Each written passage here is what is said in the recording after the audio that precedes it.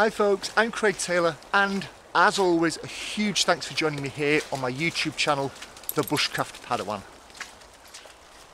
Way back at the beginning of time, or, or at least the beginning of 2017, I set myself a challenge to spend a night out in the woods every month for a year and I achieved that. They were my bushcraft overnighters of 2017. At the beginning of 2018, I set myself a similar challenge. Spend an entire day out in the woods every month for an entire year and I did that. They were my bushcraft all dayers of 2018. It's now the beginning of 2019 and I need to come up with another plan. There are some pros and cons of doing the overnighters, undoubtedly. There are also some pros and cons of doing the all dayers.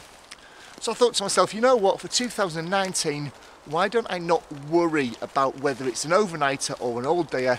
Why don't I just get out for a good chunk of time? Could be a day, could be an overnighter, could be an over an all dayer and an overnighter glued together. Why don't I just focus on getting out at least once a month for a decent chunk of time every month for the whole of 2019. So, it's January. I've got my bushcraft gear with me. I'm bushcrafting in January.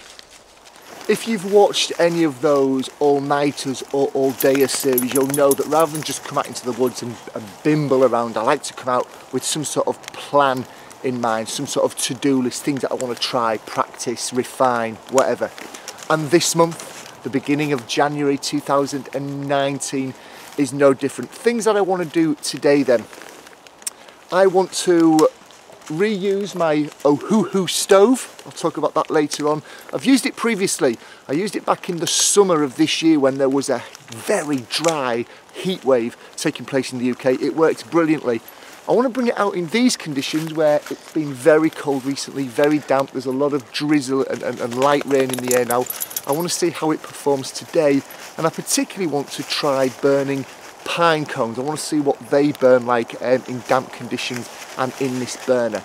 The reason I want to get a fire going is because I want to try cooking an, an omelette for the first time in the woods today. Picking up the theme of pines, I also want to get myself some pine needle tea going because I'm feeling I'm feeling the sniffles coming on so I want to have a, um, an overdose on vitamin C. So those are the things I want to try out. Revisit the, st the stove, pine cones as fuel, cook an omelette and also pine needle tea. Let's see how we get on. Before I get into any of that though, what I do want to do is put up a tarp above my head to give me a little bit of shelter during the day to keep me out of this very fine drizzly rain. I'm going to set up as quickly as I can. I'm going to set myself a timed challenge. If you've not seen my recent video about how I stow and set up, configure my tarp to allow me to get it set up very quickly, then I'm linking to it up in this corner of the screen up here. Do take a look at that and that'll give you an insight into how I'm able to set up the tarp I'm about to set up behind me so quickly. I'm going to speed the video up because it isn't interesting watching somebody set a tarp up in the background unless they're talking you through it. So I'm going to um, speed the camera footage up, but I won't be speeding up the time on my watch. Let's see how I get on. And we're off.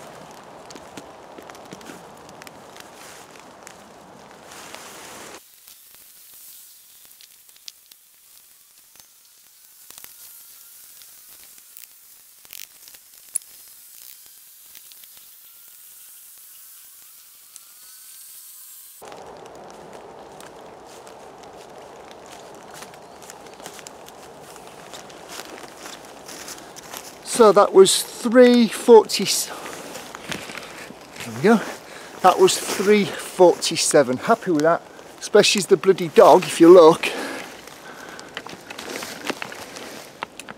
ran off with one of my tent pegs three quarters of the way through making it. So I improvised on the fly. I can't I can't blame her too much though, she probably didn't add that much time on. So three 46. So the tarp is up. Again, if you want to see how I configure my tarp to make it easy to set up that quickly, then do feel free to take a look at the video that I linked to earlier on. I frequent this area fairly often. Come here in the spring, summer, the early autumn, and you can't move for pine cones. They're everywhere. You sit down, you sit on one. You put your hand down, you get prickled by one. You're walking along, you kick one. Fast forward to today, and of course, because I'm specifically looking for them, there's an absolute pine cone drought. I strongly suspect that there isn't. I strongly suspect that the fact that autumn has, has dumped all of its leaves on the ground makes them much harder to find. But yeah, it's just interesting. They're still here. They're just a lot harder to see than they are during the summer months. Let's crack on. Aha, found one.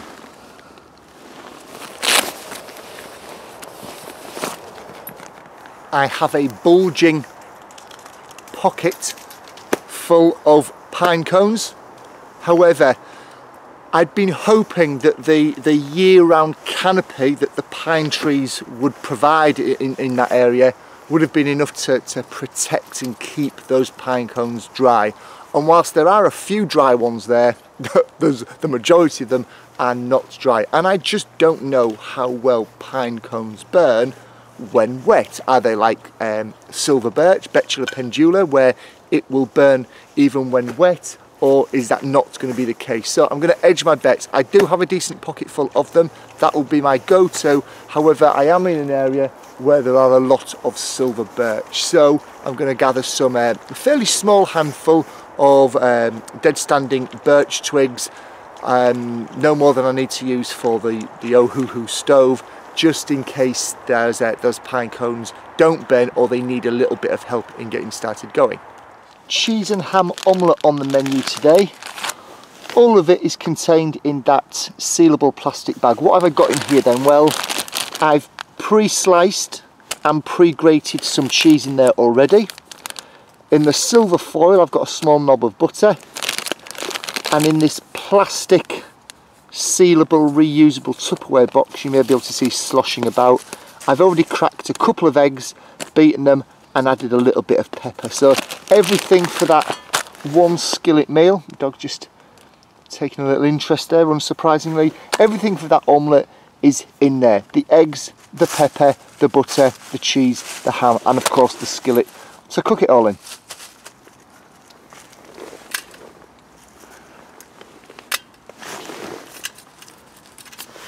What I'm going to do now to try and give these damp, that's been kind, pine cones a little head start is I'm forcing down in between them, both around the edges and in the middle, some pencil lead, or should I say pencil thickness pieces of silver birch in the hope that if they can get started they will provide enough heat to dry out and get the pine cone started. So it's always an interesting concept using this Ohuhu stove. And if you look back in my previous video that I'm linking to on the screen right now you'll be able to see me talking about it. You kind of you load it from the, the, the bottom up. So you put your fuel at the bottom your kindling on top of that and then your tinder on the top of that. Complete opposite, I guess, to a traditional fire where you have your um, your tin or your kindling or your tinder, then your kindling, then your fuel. This is the absolute inverse. So quite a few pencil thickness and now on top of that I'm going to place some uh, pencil lead thickness much thinner pieces then on top of that I'm going to set the tinder and try to get it going.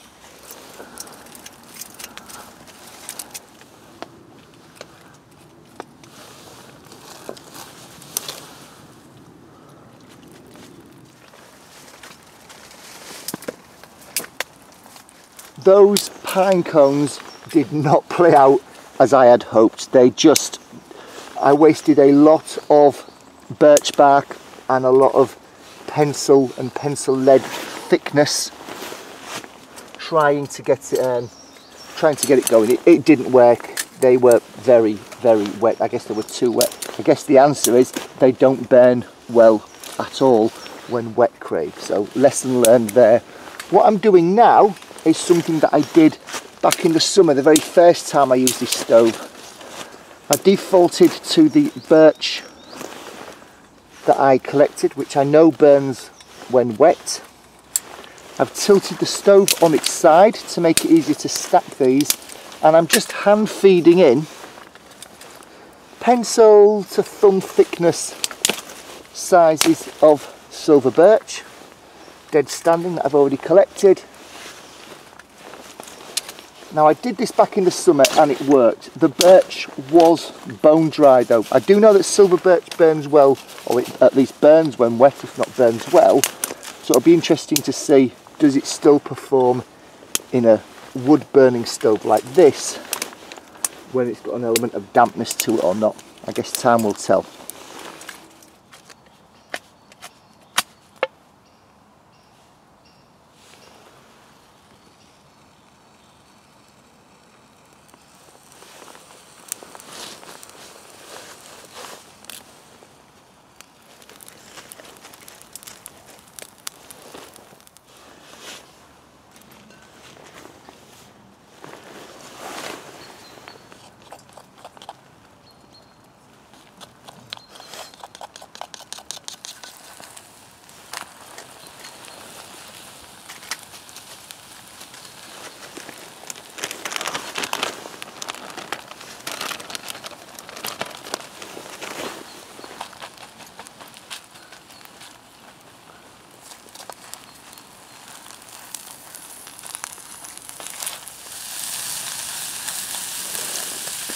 Can't help but think that perhaps I've put too much filling in.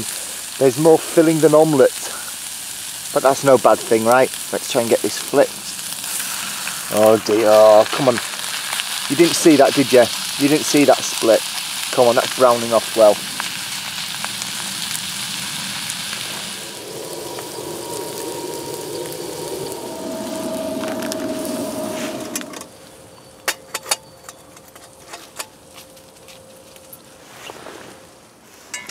Let's have a think about how the day's gone then. I'll be honest, everything bar... No, you can't have any. Everything bar putting the tarp up was harder than I thought. Every, everything. Everything was harder than I thought. The um, I can reliably tell you that wet pine cones don't burn. No matter how much birch bark and birch twigs and birch kindling you add to it it just doesn't burn or it didn't for me today.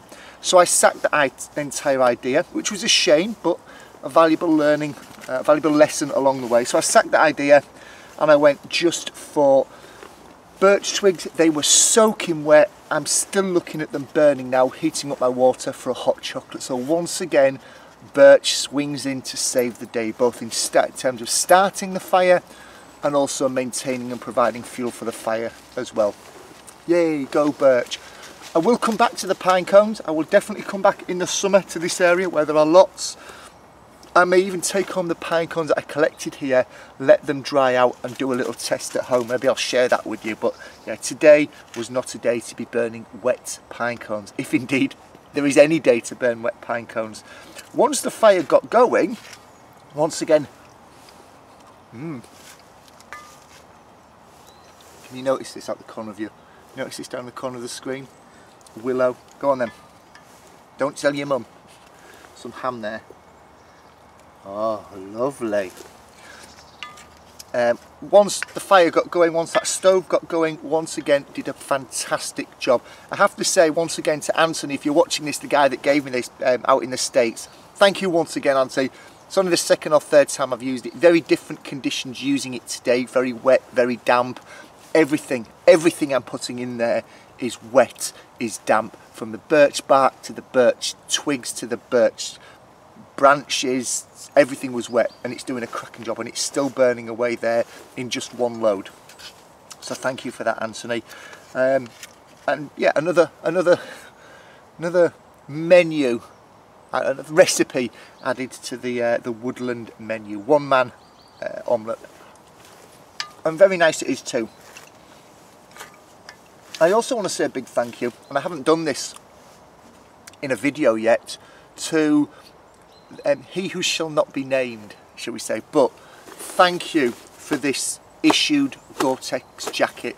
thank you for the boots that I'm wearing today and are now my go-to boots for being out in the woods as well as thank you for a lot of other gear so you know who you are I won't mention your name but um, yeah you've seen me right with a lot of gear um, at a time that I know is busy for you in your life anyway so a huge huge thank you for doing that. First time I've worn this in anger today out in the woods doing this sort of thing.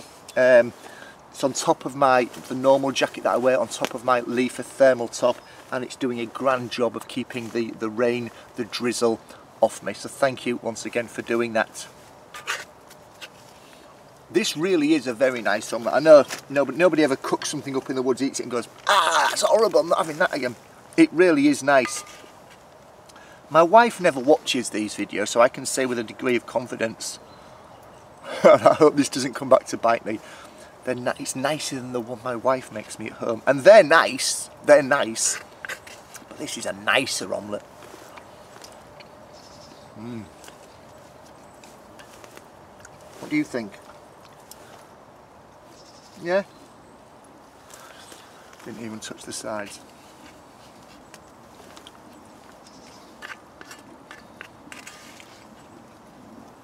I never got round to making the pine needle tea. There's a good reason for it. In order to make pine needle tea, you need to be able to get pine needles. In order to be able to get pine needles, you need to be able to reach them. The trees today, everything that was low down was, was just dead needles that had fallen and, and dropped. There are no young or low-limbed, low-limbed trees in the immediate area where I was. So whilst a lot of cones had dropped, there were no real needles that were easily or safely that I could get a hold of. So no pine needle tea for today. However, I will default to the, the standard hot chocolate that I carry around with me pretty much everywhere. So it'll be a hot chocolate for today want to say once again a big thank you to everybody that's subscribed. If you're not, down in the bottom right hand corner of your screen for pretty much this entire video has been a subscribe button. Please do click on it. I must admit, this probably isn't the, the flagship video for this channel because almost everything I set out to do today didn't work, went wrong, uh, and I had to do something else.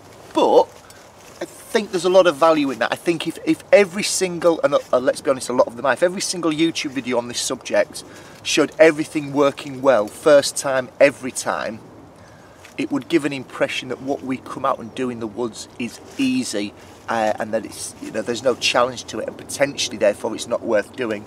I think anybody who's spent any time out in the woods doing these sorts of things knows that's not the case. So wherever possible, I do try and show, yes, the successes that I have, but also the times that things don't work, the things, the time that things go wrong, and why having more than one tool in your toolkit, having a backup plan, if all I'd known to do, if all I'd been able to do, if all I knew was the ability to burn pine cones, I'd have been going hungry and thirsty today. As it was, I knew that even in wet conditions, silver birch burns well so I was able to default to that. So hopefully you still took something away from this video even if it wasn't what I said I was setting out to do at the start of the video. I've just got a I've got a, a Labrador's head just sneaking into shot here. And the reason it's sneaking into shot is because she wants some more omelette. Thank you for watching. Thank you for subscribing. If you want to click and share and like and subscribe to this book this channel all the various buttons are below please do and I will see you next time in the woods where fingers crossed um, plan A goes a little bit more to plan. Thanks for watching. Cheers.